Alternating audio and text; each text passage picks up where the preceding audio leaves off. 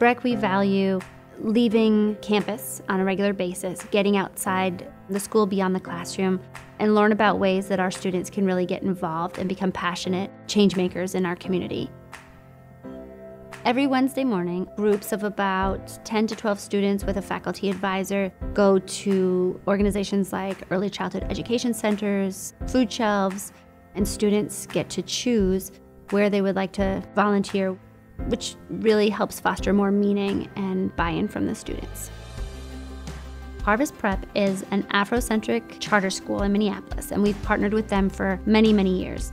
And this year we have two seniors who are in the advanced math research class who proposed a project where they would use therapy dogs in a literacy program with second graders.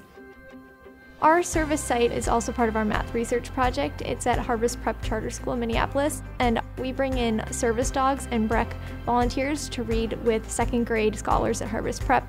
We're trying to see what is the most effective way to help kids read. We're trying to prove that you can bring dogs in during the school day and kind of see how that can improve some of the students' academic courses and just achievements overall.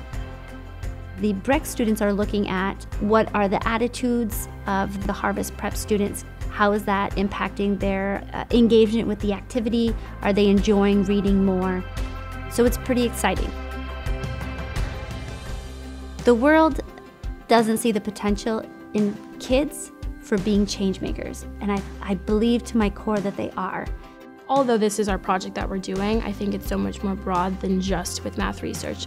I think just helping out and finding new and innovative ways to better someone else or even better yourself, I think that that's just a really great approach. I've gone to like nursing homes, I've gone to preschools, I've gone to food shelves, and I think every single experience has given me a broader view of the community seeing different aspects of the community makes you realize that there's so much more to life than, you know, your day-to-day activities. It would be really easy for Breck to check off the box and say, yep, we're involved in community service. We raised this many pounds of food. We've contributed this many service hours.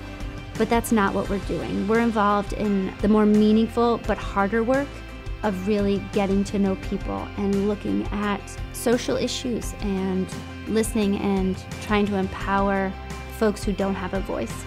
And I think that's really exciting.